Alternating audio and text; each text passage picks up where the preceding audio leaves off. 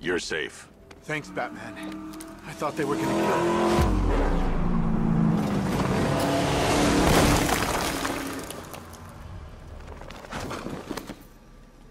The city's overrun. We don't stand a chance. Stay here. I'll send someone to pick you up. What are you doing? Evening the odds.